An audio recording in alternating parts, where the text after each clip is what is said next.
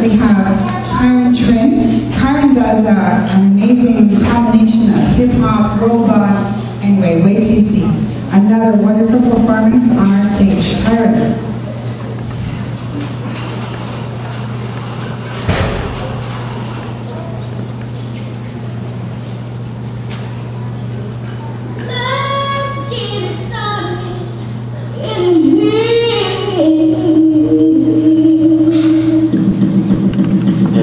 Amen.